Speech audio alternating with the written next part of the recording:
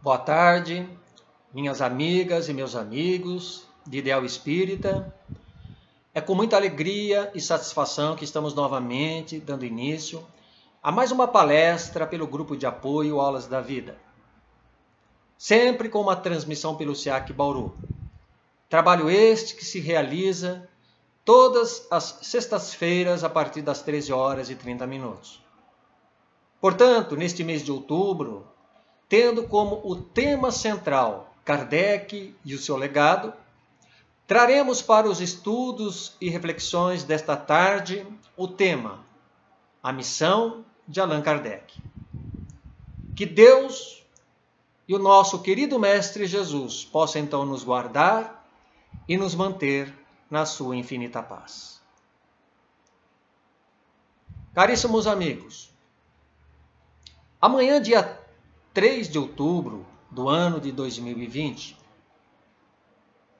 para sermos mais exatos, 216 anos atrás, reencarnava na cidade de Lyon, na França, no dia 3 de outubro de 1804, o senhor Hippolyte Léon Denisard Rivail. Nome este que recebeu de batismo na religião católica. Quando somente mais tarde, ao publicar a sua primeira obra, O Livro dos Espíritos, no ano de 1857, passaria então a ser chamado e assinar dali por diante pelo pseudônimo de Allan Kardec. Isto porque, durante uma reunião mediúnica na casa da família Baudin, em Paris, um espírito protetor chamado Zéfiro manifestou-se dizendo que havia conhecido o professor Rivaio numa existência anterior, no tempo dos druidas, quando viviam juntos na região da Gália. Apenas para título de informação, a Gália era uma antiga região francesa povoada pelos gauleses, que serviu como uma província do Império Romano. E segundo Zéfiro, na época do imperador Júlio César, entre 58 e 44 anos antes de Cristo, tinha sido ele um líder druida na sociedade celta, com o nome de Allan Kardec. Daí a razão do cognome empregado que o tornaria brevemente o codificador do Espiritismo. Como o próprio Espírito Zéfiro revelara nesse dia da importante missão que lhe estava reservada, na qual posteriormente seria convocado pelo Espírito Verdade. O apóstolo Paulo, em sua carta aos Romanos, capítulo 10, versículo 15, como que antecipando a tarefa dos grandes missionários, descrever afirmando: é como está escrito: Quão formosos são os pés dos que anunciam as boas novas. Importante também dizermos que o recurso deste pseudônimo adotado pelo professor Rivaio tinha ainda uma outra vantagem, que era justamente de protegê-lo e não o expor à intolerância e à perseguição religiosa da época, que poderia talvez comprometer até mesmo a sua carreira editorial. A propósito do que tínhamos nos referido há pouco sobre o Espírito Verdade, iremos encontrar no livro Obras Póstumas, numa das reuniões datada em 12 de junho de 1856, através da médium de psicografia Episcofonia Senhorita Arline Carlotti, que o senhor Rivaio tinha o desejo de saber do Espírito Verdade o que ele pensava da missão que alguns espíritos haviam assinado, que haviam lhe conferido. O Espírito Verdade então deu a seguinte resposta, como nós vamos verificar nesse slide.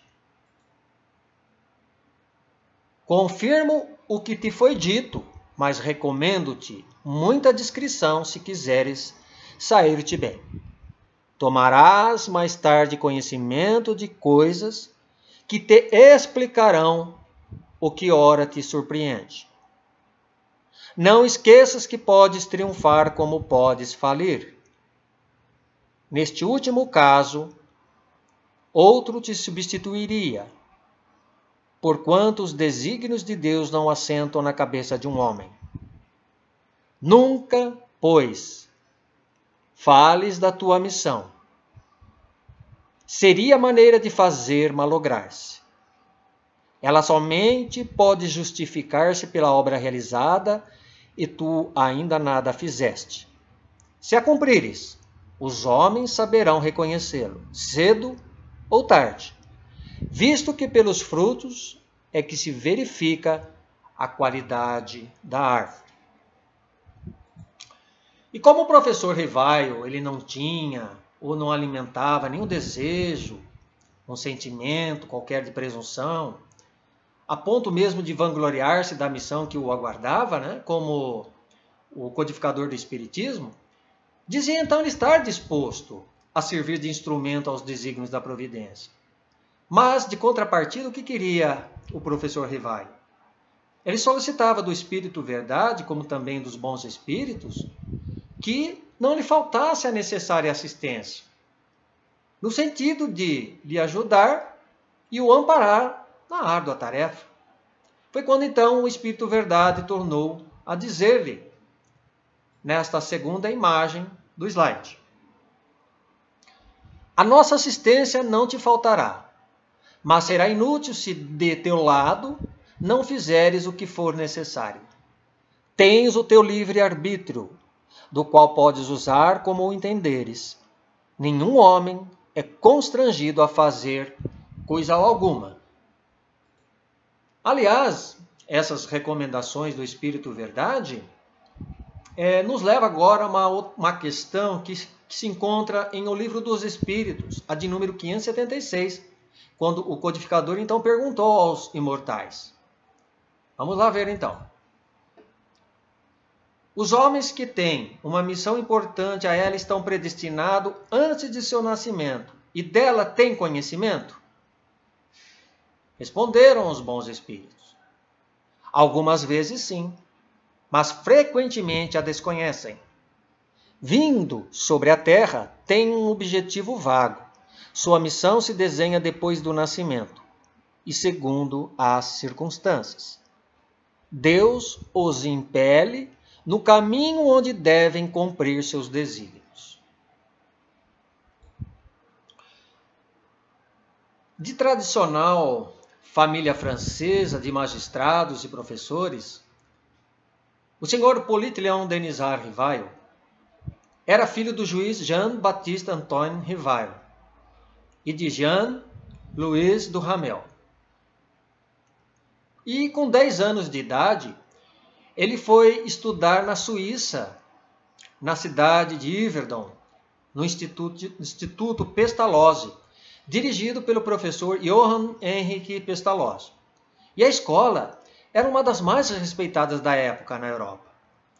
E Rivaio, então, tornou-se um dos discípulos mais eminentes de Pestalozzi e um dos maiores propagadores de seu sistema de educação que teve grande influência na reforma do ensino na França como na Alemanha.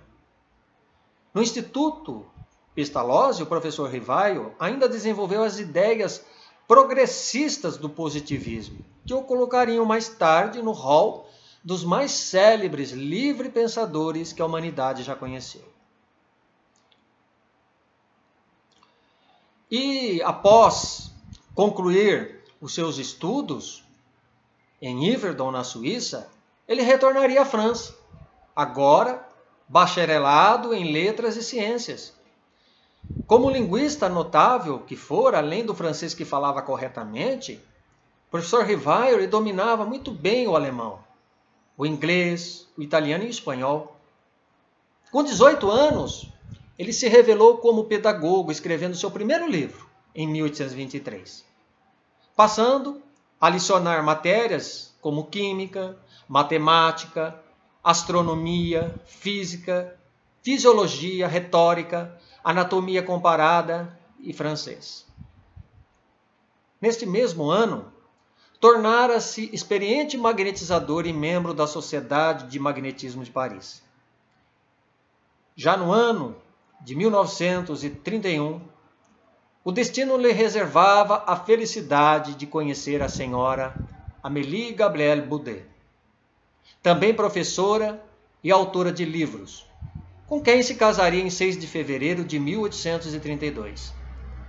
A senhora Amélie viria a se tornar, portanto, uma preciosa colaboradora para sua futura atuação missionária.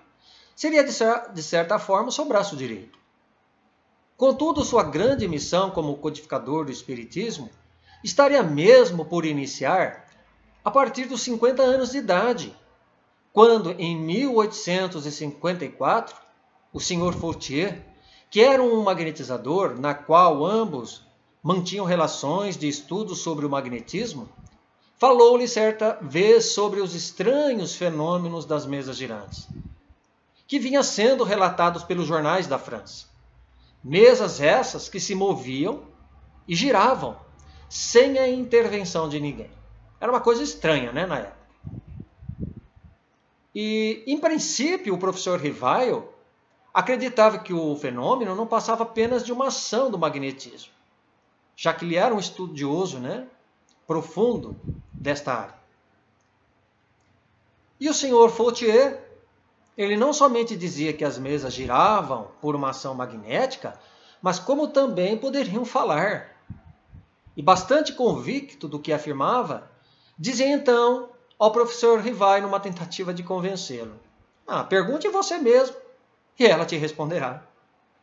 Mas não foi tão fácil assim, porque o futuro codificador do Espiritismo ele era um homem reservado e sensato, dotado de um caráter austero e erudito, que o notabilizou como importante estudioso catedrático, por suas convicções que estavam forte, fortemente consolidadas no espírito de ciência e pesquisa, que lhe era peculiar. O que não o levava a aceitar de imediato ou de pronto qualquer sistema preconcebido ou teoria como conclusiva, ou seja, era ver para crer. Né? Porque, pois de, outra, de certa forma, ele ainda não estava preparado no que via, para o que ouvia ou falava. Mal sabendo de que lhe estaria reservada a grande responsabilidade de missionário da terceira revelação cabendo essas futuras palavras, da qual ressaltaria com relação à doutrina espírita. É quando ele assim disse: Não foram os fatos que vieram confirmar a teoria, mas a teoria que veio explicar e resumir os fatos.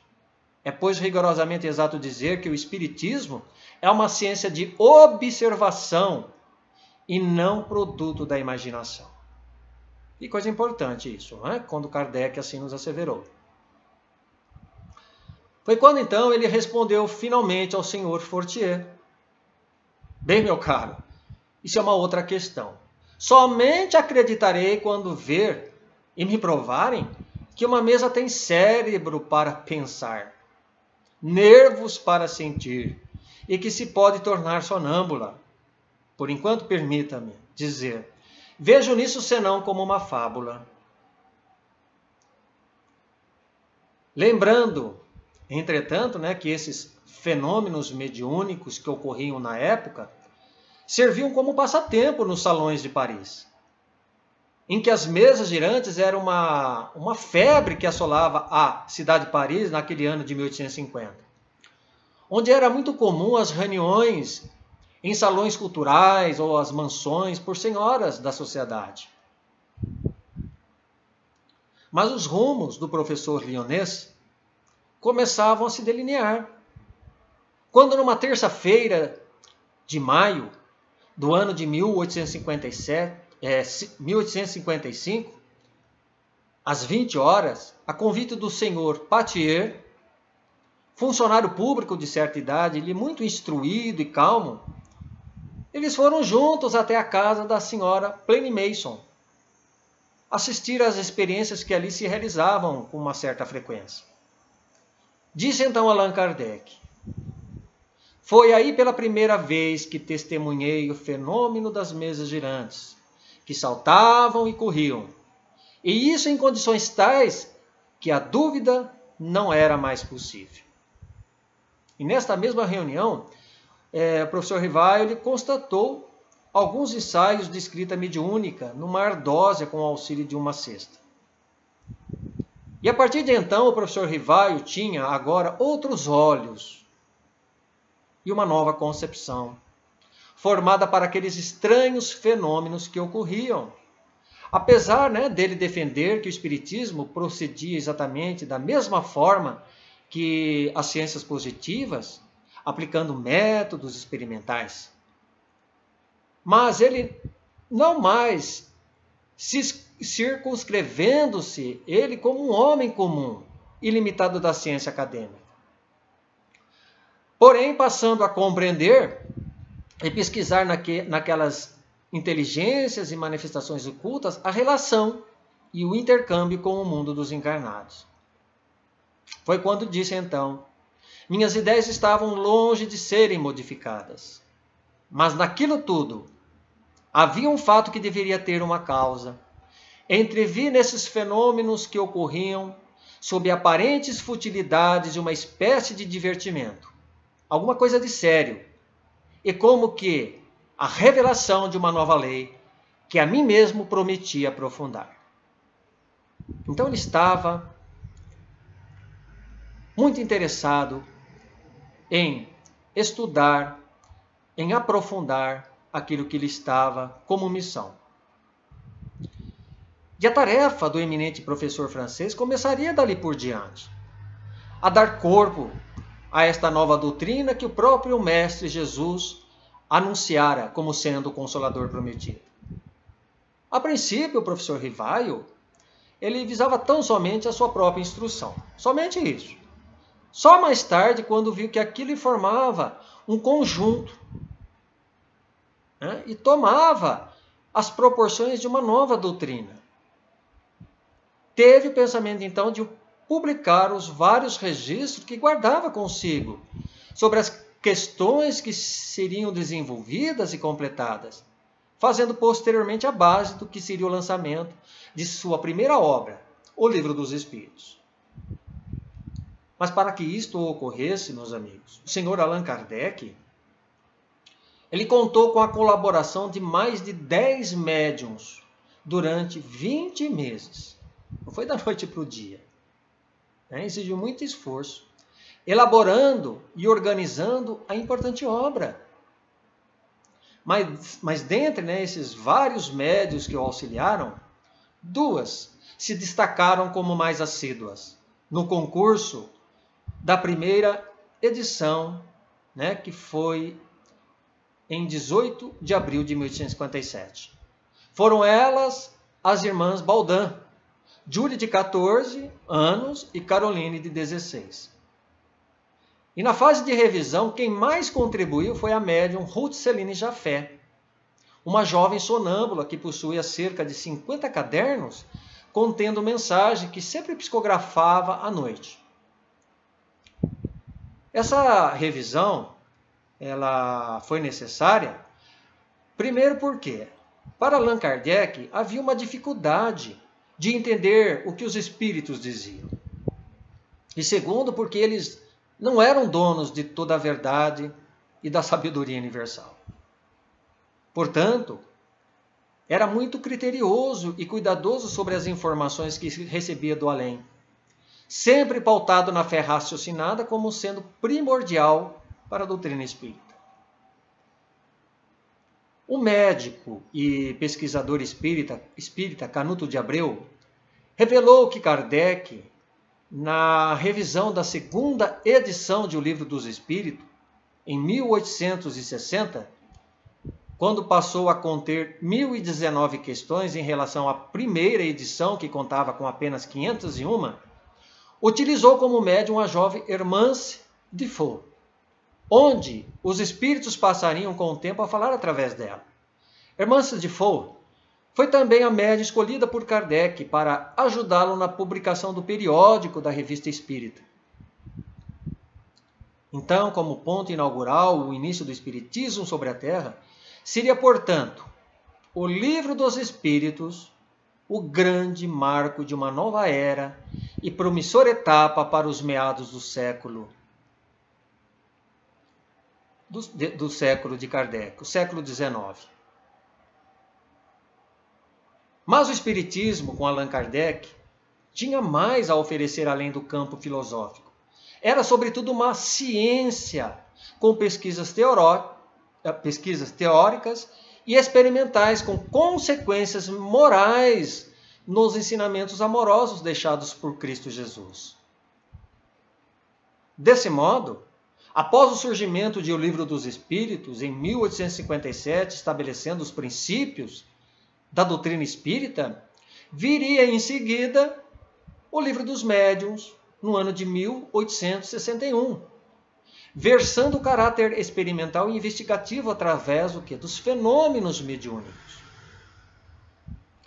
Em 1864, o Evangelho segundo o Espiritismo, obra esta de cunho essencialmente moral, em que Kardec ele seleciona os evangelhos canônicos da Bíblia como ponto de partida para esclarecer seus fundamentos morais. Por isso nós encontramos aquelas transcrições dos evangelistas seguidas do desenvolvimento dado pelos espíritos. Já no ano de 1865, temos a obra O Céu e o Inferno, que está composta ou dividida em duas partes. Na primeira, Kardec ele realiza ali um exame crítico da doutrina católica apontando as incoerências e contradições filosóficas mediante ao dogmatismo da igreja. Na segunda parte, dezenas de diálogos que teriam sido estabelecidos entre o codificador e diversos espíritos, narrando as impressões felizes e menos felizes além túmulo. E no ano de 1868 é lançado a Gênese, Obra composta essa de três partes. Três partes. A primeira que trata da formação dos mundos e da criação dos seres animados e inanimados. Na segunda, dos milagres de Jesus sob a luz e compreensão da doutrina. E na terceira, falando das previsões de coisas futuras, pressentimentos e coisas afins. Assim, meus amigos, essas seriam como consideramos pelo Espiritismo as obras basilares ou o Pentateuco de Allan Kardec. Outras obras complementares somariam, constituindo a missão de Allan Kardec. Temos então a Revista Espírita, que vai de 1858 até a data de seu falecimento, do seu desencarne, de sua desencarnação, em 1869. Vale lembrar também aqui que, após o lançamento da Revista Espírita, em 1 de janeiro de 1858, Allan Kardec ele fundou nesse mesmo ano a primeira sociedade espírita é, regularmente constituída, com o nome de Sociedade Parisiense de Estudos Espíritas. Então Kardec teve muito, muito trabalho à frente a realizar. Em 1858, um outro livro, uma outra obra, Instruções Práticas sobre as Manifestações Espíritas. 1859, O que é o Espiritismo? Em 1862, tivemos Viagem Espírita em 1862, junto com uma outra no mesmo ano que chamou O Espiritismo na sua expressão mais simples. No ano de 1864, a obra Resumo da Lei dos Fenômenos Espíritas. 1868, Caráter da Revelação Espírita. 1869, Catálogo Racional das Obras para se fundar uma biblioteca espírita. Em 1890, as obras póstumas. Além dessas mencionadas, é, duas outras não tão bem conhecidas foram publicadas pelo Brasil, que se chamou O Principiante Espírita, que foi pela editora O Pensamento, e A Obsessão pela Casa Editora O Clarim. Vamos encontrar na vida e missão de Allan Kardec um episódio bastante singular é, quando numa das noites em que ele trabalhava em seu gabinete, pequenas pancadas né, se faziam ouvir na parede. Então, a princípio, nenhuma atenção foi dada né, por ele. Porém, elas se repetiam mais forte, sempre mudando de lugar. Incomodado, intrigado, ele então resolveu fazer o quê? Uma inspeção, uma varredura ali minuciosa nos dois lados da parede da casa. Mas nada encontrou, né? nada ali viu de diferente. O curioso é que aquelas pancadas somente cessavam quando ele se punha a investigar, né? E recomeçando logo que voltava ao trabalho. E sua esposa, Amélie, ao ouvir também aquelas pancadas, lhe perguntou o que era aquilo. E Kardec nada soube responder. Apenas dizendo que o barulho já durava por volta de uma hora. E, e aquele ruído ele continuou até a meia-noite, quando resolveu se deitar. Então, no dia seguinte, durante uma sessão na casa do senhor Baldan, Kardec então narrou o fato, pedindo uma explicação sobre a causa né, daquelas pancadas que se fizeram ouvir com tanta persistência. Era o teu espírito familiar. Responderam afirmando, onde inclusive estava presente naquele momento o tal espírito familiar, da qual Kardec lhe poderia dirigir as perguntas diretamente a ele. E assim fez. Meu espírito familiar. Esta foi a pergunta, né, de Kardec. Meu espírito familiar. Quem quer que tu sejas, agradeço por teres vindo me visitar. Consentirás em dizer-me quem és? E não tardou a resposta. Para ti me chamarei a verdade.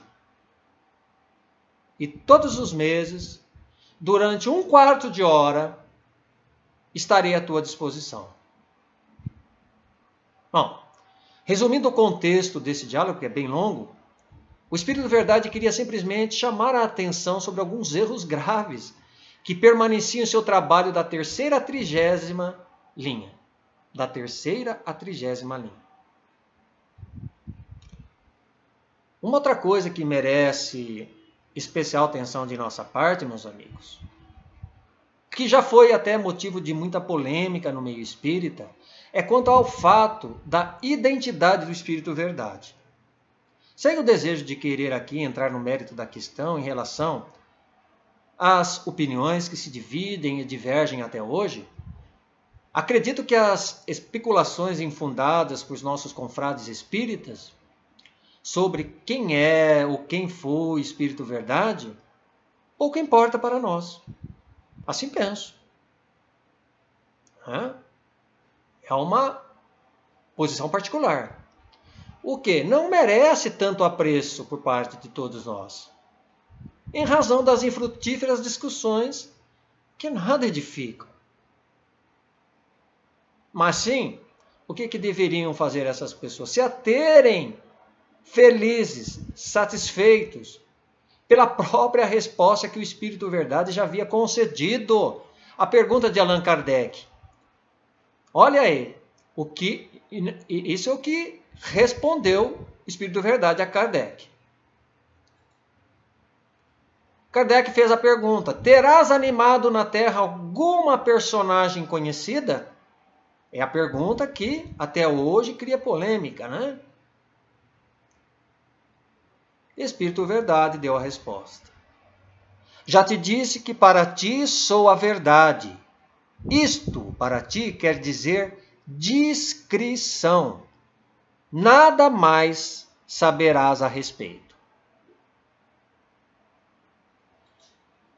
Pois bem, meus amigos. Que coisa, né? É, se Allan Kardec não podia saber, ele, como sendo o codificador, o escolhido né, para divulgar a bela missão que lhe conferiram, quanto mais a nós.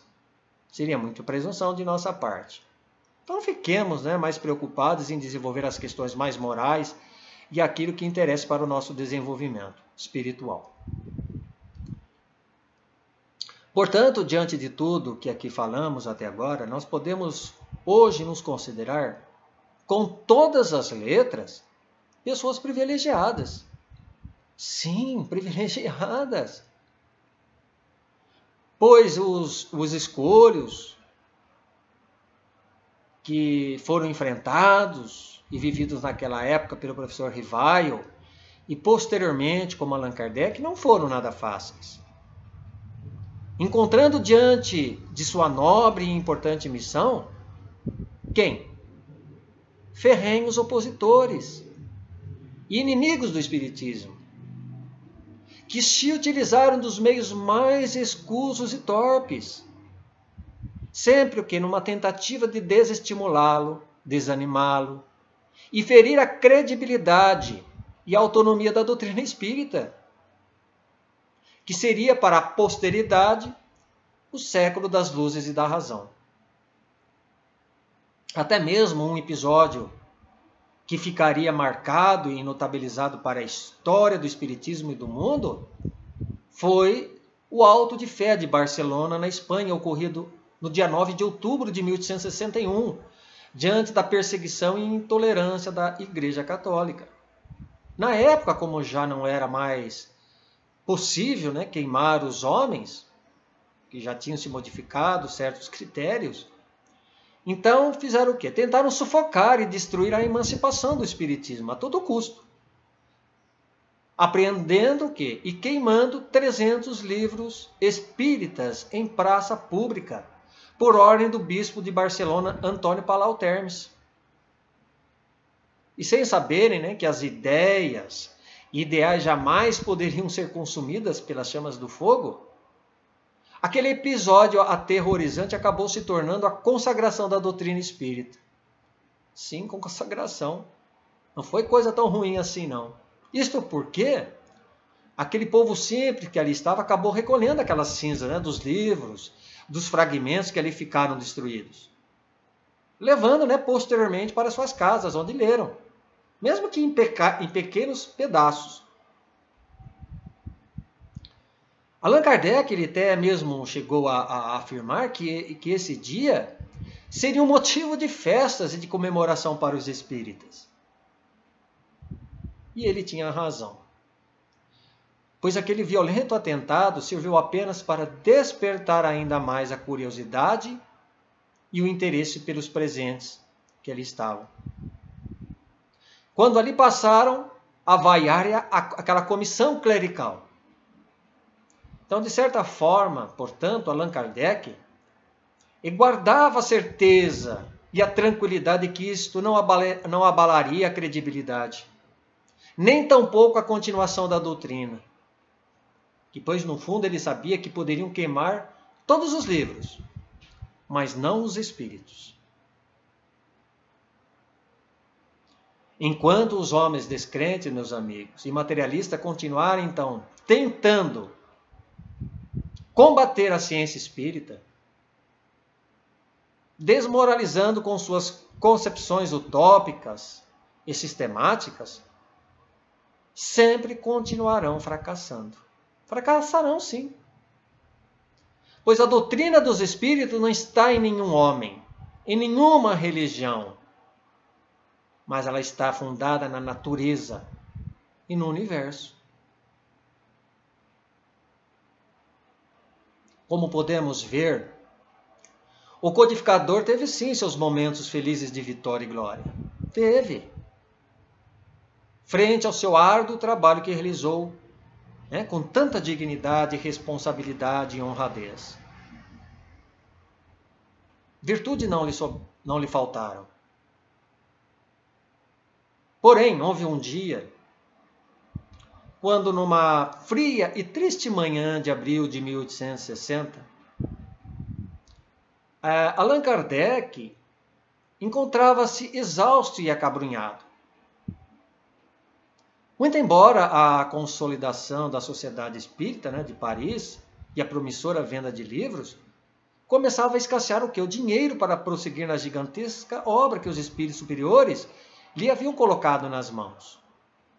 E abatido, triste, né, pela pressão de numerosas cartas que sempre chegavam à sua mesa, endereçando-lhe fortes críticas, a sua esposa, Amélie Gabrielle Baudet, a doce Gabi, como carinhosamente a chamava, entrega-lhe então uma encomenda. O professor então abriu né, aquele embrulho e, encontrando uma singela carta, passou a ler. Ditava essa carta: Senhor Allan Kardec, respeitoso abraço. Com a minha gratidão, remeto-lhe o livro anexo, bem como a sua história, rogando-lhe, antes de tudo, prosseguir em suas tarefas de esclarecimento da humanidade, pois tenho fortes razões para isso. Sou encadernador desde a meninice, trabalhando em grande casa desta capital. Há cerca de dois anos casei-me com aquela que se revelou minha companheira ideal. Nossa vida corria normalmente, tudo era alegria e esperança. Quando no início deste ano, de modo inesperado, minha Antoniette partiu desta vida, levada por sorrateira moléstia. Meu desespero foi indescritível e julguei-me condenado ao desamparo extremo, sem confiança em Deus sentindo as necessidades do homem, do mundo e vivendo com as dúvidas aflitivas de nosso século, resolvera seguir o caminho de tantos outros ante a fatalidade. A prova da separação vencera-me. E eu não passava agora de mísero trapo humano. Faltava ao trabalho, e meu chefe, né, que era reto, ríspido, ameaçava-me com a dispensa. Minhas forças fugiam. Namorava diversas vezes o rio Sena e acabei planejando o suicídio. Seria fácil, pois não sabia nadar. Pensava. Sucediam-me noites de insônia e dias de angústia. Em madrugada fria, quando as preocupações e o desânimo me dominaram mais fortemente, Busquei a ponte Mary. Olhei em torno, contemplando a corrente, e ao fixar a mão direita para atirar-me, toquei num objeto algo molhado, que ali se deslocou do pequeno muro. É um muro meio baixo, caindo aos meus pés. Seguindo ele, né, na sua missiva, dizia: Surpreendido, distingui um livro que o orvalho me descera Tomei o volume nas mãos e, procurando a luz mortiça do poste vizinho para ler entre irritado e curioso, dizia logo no frontispício: Esta obra salvou minha vida. Leia com atenção e tenha bom proveito. Vinha assim assinado com as iniciais A. Laurent e passou a estudar aquela obra de O Livro dos Espíritos, onde acrescentou ainda breve mensagem, volume esse que entregaria às mãos abenegados do codificador, autorizando o distinto amigo a fazer dele o que lhe aprovesse. Ainda constava da mensagem agradecimentos finais, assinatura, data e o endereço do remetente.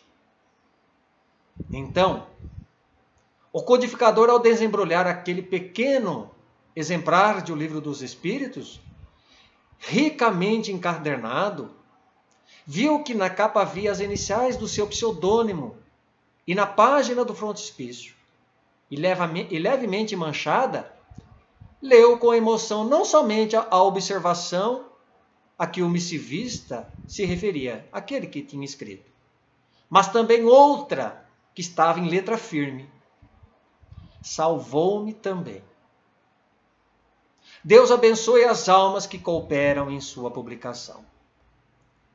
Assinava agora Joseph Perrier.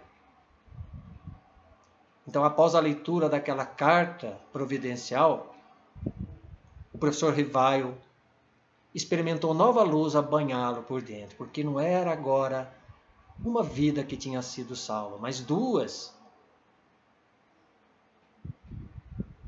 Então, aconchegando o livro ao peito, raciocinava agora não mais em termos de desânimo ou sofrimento, mas sim na pauta de radiosa esperança. Era preciso continuar, desculpar as injúrias, abraçar o sacrifício e desconhecer as pedradas. Então, diante de seu espírito, turbilhonava um mundo necessitado de renovação e consolo. Allan Kardec levantou-se da velha poltrona e, abrindo a janela à sua frente, contemplou a via pública, por onde passavam operários e mulheres do povo, crianças e velhinhos. O notável obreiro, então, da grande revelação, respirou a longos haustos, profundamente, e antes de retomar a caneta né, para o serviço costumeiro, ele levou o lenço aos olhos e limpou uma lágrima. Allan Kardec desencarnou em Paris no dia 31 de março de 1869, aos 64 anos de idade. Vítima da ruptura de um aneurisma quando ele trabalhava numa obra sobre as relações entre o magnetismo e o espiritismo ao mesmo tempo em que se preparava para uma mudança de local de trabalho. Allan Kardec está sepultado no cemitério Père Lachaise, da capital francesa, que aliás né, é bastante frequentado por simpatizantes e espíritas até hoje, onde, junto ao seu túmulo, está escrito o lema: Nascer, morrer, renascer ainda e progredir sem cessar. Tal é a lei. A vida e missão de Allan Kardec cuja contribuição traria enorme progresso moral e intelectual para o seu século, não encerraria com seu retorno à pátria espiritual. Não. Quando o seu amigo e astrônomo francês Camille Flammarion ele proferiu o seguinte discurso, ressaltando a, sua, admiração por aquele que ali baixava ao túmulo como nós verificaremos nesse slide. Por, por Camille Flammarion. É um pouco extenso, mas de importante significação. Veja o que ele diz. Voltaste a esse mundo de onde viemos e colhes o fruto de teus estudos terrestres. Aos nossos pés dorme o teu envoltório. Extinguiu-se o teu cérebro. Fecharam vossos olhos para não mais se abrirem. Não mais ouvida será a tua palavra. Sabemos que todos havemos de mergulhar nesse mesmo último sono, de volver a, a essa mesma inércia, a esse mesmo pó. Mas não é nesse envoltório que pomos a nossa glória e a nossa esperança. Tomba o corpo, a alma permanece e retorna ao espaço.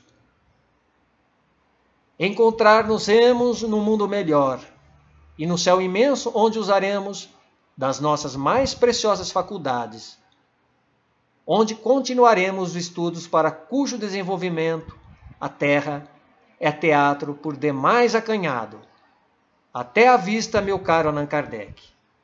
Até a vista.